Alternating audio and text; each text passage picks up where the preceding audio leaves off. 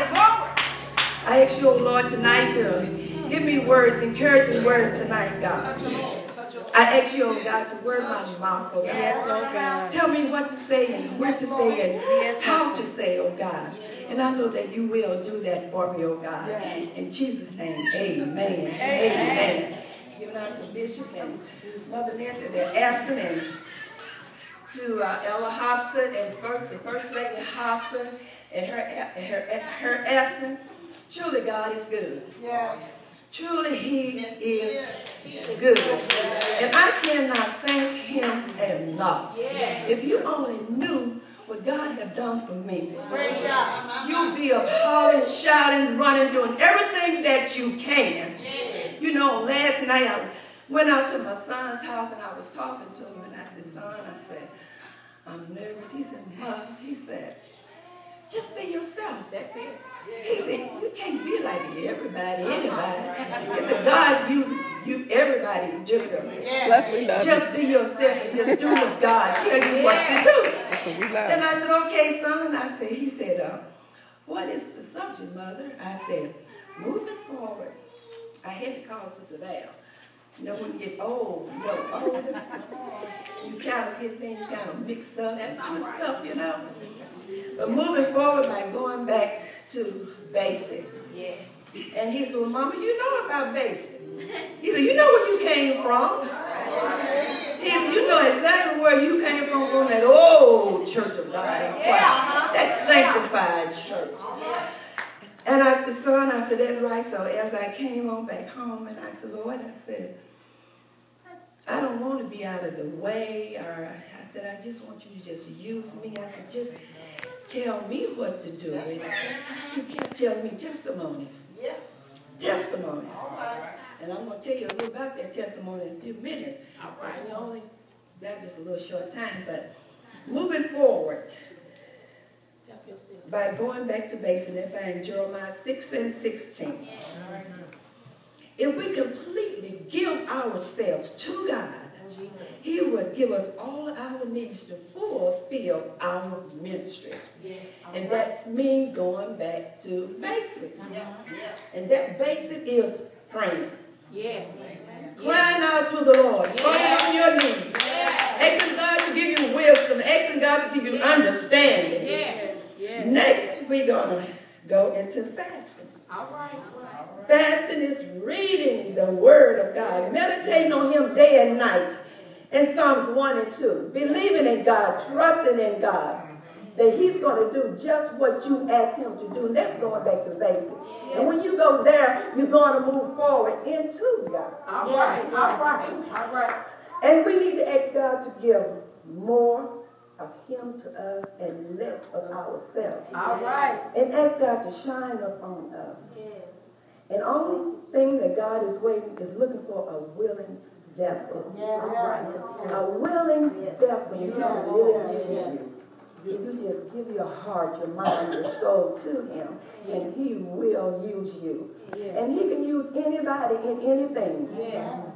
And just open up your heart and just say, Lord, here I am. Here I am. And God will show out. And I was thinking about this little song about a long time ago by Andre Crouch. It said, Take me back, take me back, dear Lord, to the place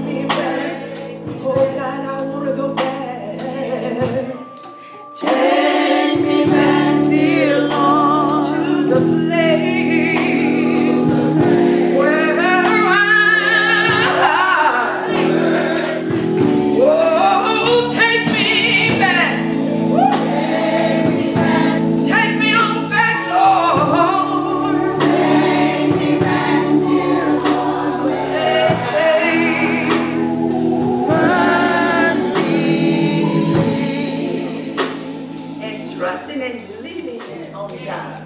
Yes. You know, I've had three surgeries, one in 2009. And this woman of God, I don't know, she just came to me and my surgery wasn't even old. So it was in January and then December. She came to me and she pulled me and I, the devil just tell me, now look at here now. You got all them screws and all in you and all that and you fall out. You ain't gonna be able to get up. But she kept on talking and she kept on praying for me. And the Spirit of the Lord just knocked me down. The devil again told me, well, you ain't gonna get up. Mm-hmm. Jesus. How are you gonna get up? Jesus. But you know, God came in that night and he healed me. He Thank healed me completely. And I give him the glory and the honor. And back in December, January, no, yeah, November, I had another little surgery. I came out of that just fine. Mm-hmm. And as I was going through the surgery, I, I kept losing weight and I just didn't know what was going on. And I said, Lord, what is going on? Anything if I drink water, if I swallow my slobber, just anything, I would just throw it up. And I lost almost 35 pounds. Jesus. But I wasn't trying to be, it was just my sickness that it was. Mm-hmm. But I went out that night, that one day. And as I went out, I fell out. And my children took me to the emergency room, and I was like, oh, I don't want to go. I don't want to be in no hospital no more. So they called my husband. He said, take her there. Take her, okay. What she say? Give her there. And I'll meet y'all there. So when I got there, they couldn't find out what was wrong with me, but they found out something else what was wrong with me right. kept losing a little more weight, kept getting sick, kept praying, going back to basics. Yes. And I couldn't fast because I couldn't keep nothing down on my stomach. So I just kept praying, I kept believing, I kept trusting him. I said, God, I said, whatever this, I said, you got to heal this. Got I said, you got to do it. I said, I ain't ready to go yet. I said, I think I got some work I got to do. Yeah. And I said, just got come on, just heal me. So as I went to the doctor, she uh, looked at me, you know, and she was telling me some things. And uh, well, I kept going to different doctors. So my daughter, told me, she said, Mom, you ain't going back to Baptist. I love Baptist. Mm-hmm. She said, no, I ain't going to. She said, I know too many doctors here. You got your mess. She said, I'm going to find somebody there. So she found somebody there for me. When I went there, they told me what the the tests was, and they were saying that it didn't look good, you know, and I said, oh my God, they said, we're going to have to send you to another specialist. I said, Lord, come on. I said, don't tell me I got this big C. I said, what am I going to do? Mm-hmm. So she sent me to another one, and they found the same thing, and they said, uh, it looked bad.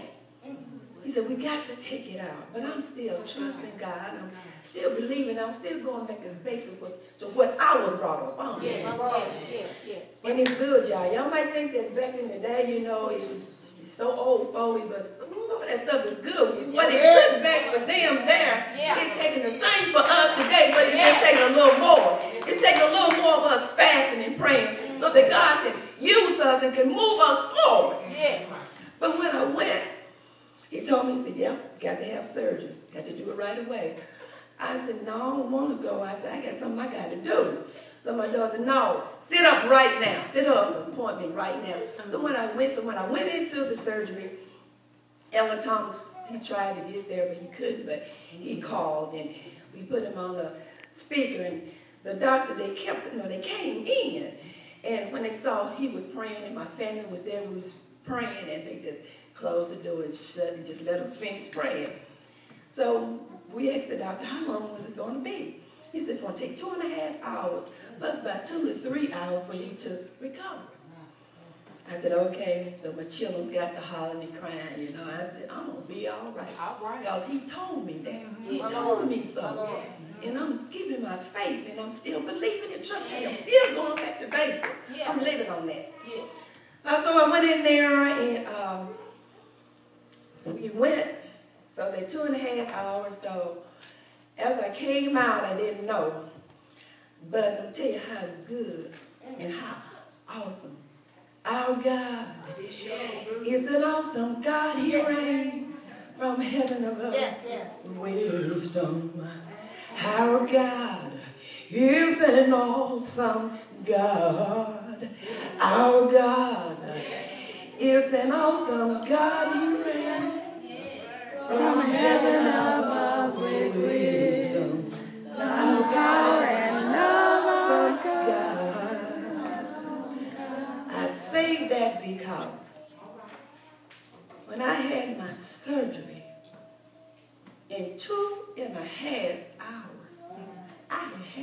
surgery and was ready to come home. Jesus. Didn't take the fine.